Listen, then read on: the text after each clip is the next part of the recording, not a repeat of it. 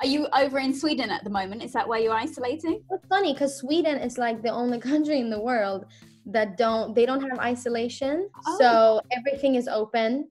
Gyms, shops, restaurants, like it's kind of weird looking at it from the outside. Sorry, I don't know why I'm so popular so fucking sudden. It's all right. You're a popular lady, so Yeah, that's it's kind of weird. It's kind of weird looking at it from the outside because. Sorry, I just have to text my mom. Stop. That's fine. This is what we're always gonna have this problem when like we're having to do it ourselves. we haven't got other people like sorting out crews and telling people not to call. Sorry. Um, but yeah, it's it's kind of weird, but I'm trying. I I love being at home. I love to stay at home, so I have really no problem doing that. Um, I'm just trying to not really move around uh, if I don't have anything anything super important to do, but just hang out with close family and like I haven't seen my grandma in a really long time, but we talk on the phone and stuff. But I think we're all the whole world is kind of slowing down a bit, which kind of feels nice. But yeah, I'm I think I'm doing I'm doing just fine. I know there's definitely people out there working. Like my mom's a nurse, so she's like stay at home. hey, she's one Um, of the important people in the world. We need people like her, so uh, that's good. But also, yeah, it's nice that you can still see your family. I'm very much looking forward to seeing my family Yeah.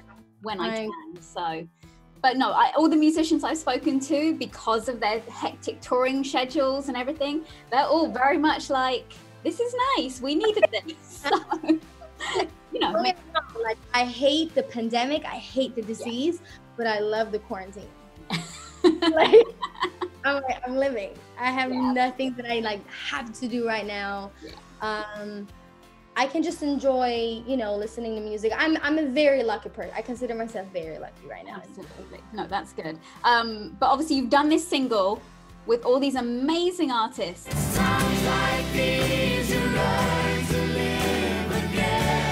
Who was it who called you up initially to take part in this single? Ooh, I think it was, you know, the good old classic, my manager, who was like, Do you want to do this? And of course I said yes. Okay. I didn't know that that many people said yes to it at the time, but it was incredible to see. I mean, I was only in it for like one second, and I'm really happy about that because so many people were in it. Do you, do you know what I mean? It's like a modern We Are the World. Absolutely. I mean, Yeah. that's still modern, but like a, a newer version, I mean. I know, I know what you mean. I know the sentiment, and also it's a Foo Fighters track, and it's a great track. I did wonder whether you had a hotline to Dave Grohl who'd kind of given you a call up and said, "Hey, we really No, I would have loved to. I remember that show. They had a concert in Sweden and he broke his leg on Yeah. stage and he just kept on going for the whole show. Like like a rock star." Legendary. So unfortunately he didn't call me personally. But uh if I ever meet him, I would love to say thank you for having me on your wonderful song. when this is all over, who on Yeah. this single would you really love to work with? Is there anyone? Oh, that's a really good question. Um, well, the two first people who sang, I'm a pop girl, so you know I love me some Anne Marie and Dua Lipa. Yes. Tracey, AJ Tracey, sick. Yeah. Uh, it's just just so many to choose between, honestly. But I think that will be fire. The last single though that we had from you was with Kygo and Tyga.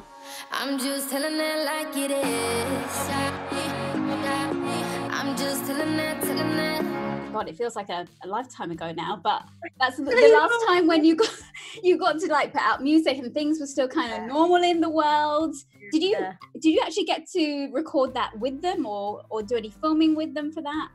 kinda we had a separate day but um it was a fun video to do i've always wanted to work with kygo because you know I'm, I'm scandinavian and like seeing him at festivals and stuff i just thought he was so cool and uh there is something about like swedish and house music too even though he's more like tropical house but um him like swedish house mafia avicii like obviously the it's it's been such a big part of Yeah. me growing up so it was it was for sure kind of like a dream come true to work with him and then i met tyga just really quick he was super nice very funny. He's killing it on TikTok right now. I'm watching his TikToks and I'm like, go on.